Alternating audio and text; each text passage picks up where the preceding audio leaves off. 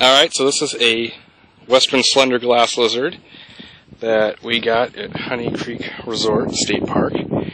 And this is the trail that we're on. This is the awesome club car that we're driving around in and we just pulled up alongside of the road. He was sitting right there. I'll use the nose as a pointer.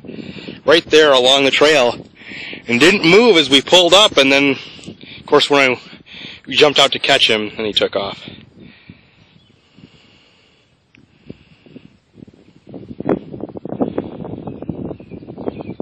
But this is an adult, and unfortunately, I haven't had this happen very often with glass lizards, but this one did break its tail.